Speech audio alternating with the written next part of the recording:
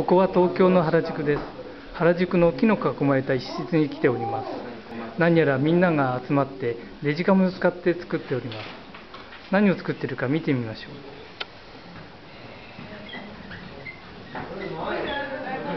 う。ニュースを作ってるみたいですね。ニュースってどうやって作るのかもうちょっと覗いてみましょう。